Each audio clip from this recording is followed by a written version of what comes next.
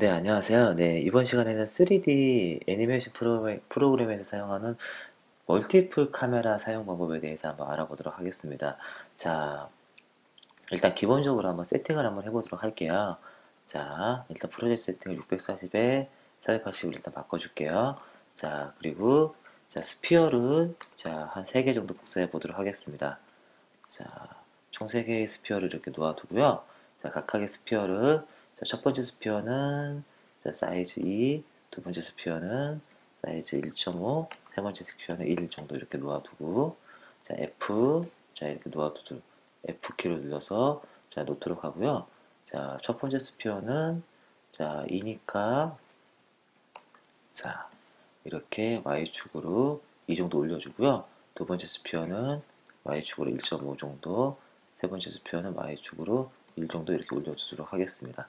자, 그리고 자, 신 노드를 통해서 자, scene이란 노드를 통해서 자, 하나를 묶어 주고요. 자, 얘네들을 자, X축으로 이만큼 한 4만큼 자, 4만큼 옮겨 주고요. 자, 마이너스 4만큼 옮겨 줄게요. 그리고 자, 이만큼만 자, 얘도 4만큼만 이렇게 자, 공간을 자, 이렇게 만들어 주도록 하겠습니다. 3만큼 옮겨줄까요? 자, 그래서 다음과 같은 자 형태를 만들어 주고요.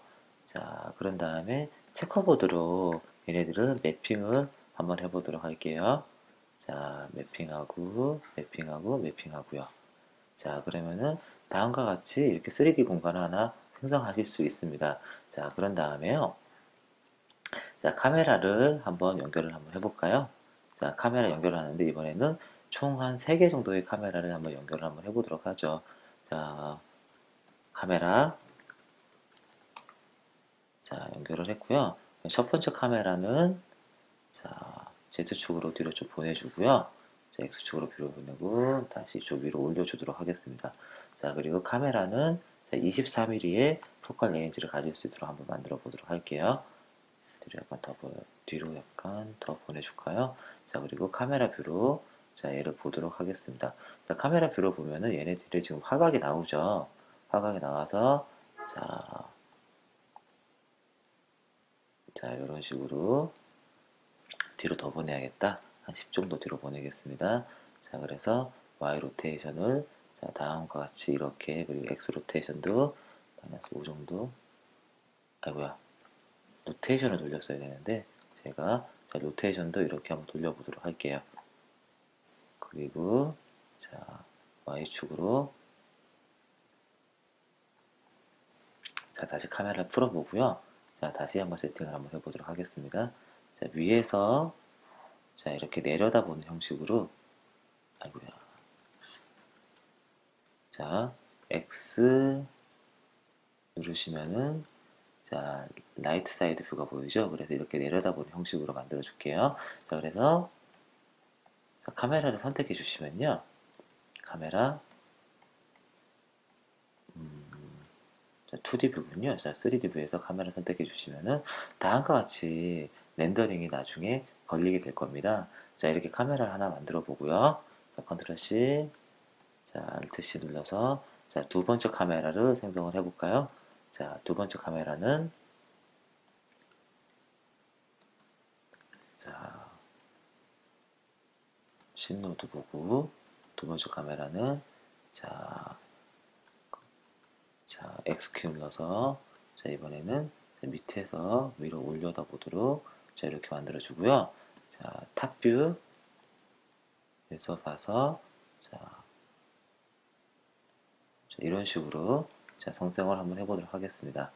자 그래서 두 번째 카메라의 뷰는요. 자 다음과 같이 두 번째 카메라가 보도록 해보도록 할게요. 자, 이런 식으로 이렇게 올려다 보도록 자, 만들었습니다. 자, 그리고 세 번째 카메라도 하나 만들어 보고요. 세 번째 카메라는 자, 디폴트 상태로 자, 다시 놓아준 다음에 자, 90도 정도 rotate를 돌리겠습니다. 90도 정도 rotate를 돌리고요. 사이드에서 자, 이렇게 한번 보도록 할까요? side view. 자, 그래서 세 번째 카메라 view를 보면요. 자 이런 식으로 side view에서 보일 겁니다 자 그래서 rotate를 좀 올려줄게요 자, 이렇게 rotate를 올려주고요. 자, 그런 다음에요.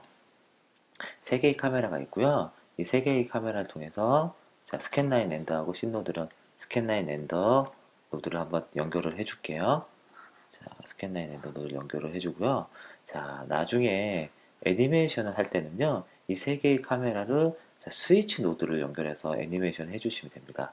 자, 스위치 노드 연결해서 자, 0번, 1번, 2번 이런 식으로 연결을 해주도록 하겠습니다.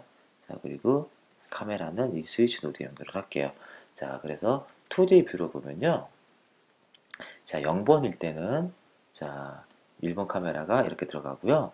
1번일 때는 자, 이렇게 자, 2번 카메라가 들어가고 스위치 노드가 자, 2번일 때는 자, 이렇게 이쪽 카메라가 이렇게 들어가도록 이렇게 만들어 주실 수 있으세요. 그래서 그때그때마다 스위치를 애니메이션을 해주시면 됩니다. 자, 예를 들어서 자, 0번 키프레임 새끼 잡아주고요. 30프레임에서는 1번, 60프레임에서는 2번, 다시 90프레임에서는 0번 이런 식으로 잡아줄게요. 자 그러면은 자 0번에서 29프레임까지는 자 1번 카메라 가다가 여기서는 2번 카메라가 여기 애니메이션이 얘가 잘 안 바뀌네요. 얘가 원래 같이 바뀌어야 되는데. 자 1번 카메라, 2번 카메라, 2번 카메라. 자 지금 이런 식으로 변하죠 얘네들이. 0번 그리고 1번 그리고 2 여기서 2번으로 변해야 되는데 안 변하네요. 자 2번 그리고 아 다시 1번. 자 이게 왜 이렇게 변하냐면요. 커브 에디터에 가보시면요. 자 이런 식으로 1점 얼마가 되기 때문에 이렇게 변합니다. 그래서 전체 curve editor control A 누르신 다음에요. 커브의 keyframe을 자 K constant 모드로 놓아두도록 하겠습니다. interpolation constant가 바로 K예요. 자 이렇게 놓아두시면요. 2번 다시 0번. 이런 식으로 카메라, 카메라 애니메이션을 선택해 주실 수 있으세요. 자, 그래서 0번, 1번, 2번 이런 식으로 가는 거죠. 다시 0번. 자, 이렇게 해서 여러 개의 multiple 카메라 옵션을 사용해 주실 수 있으세요. 자, 그래서 이런 팁이 하나 있으니까요. 여러분들도 활용하실 때 이렇게 활용하시면 되고요. 각각 카메라의 화각을 보시고 싶으시면요. 어떻게 설정해 주시면 되냐면요. 자, 1번 카메라는 예를 들어서 빨간색 자, field of view를 보고 싶다.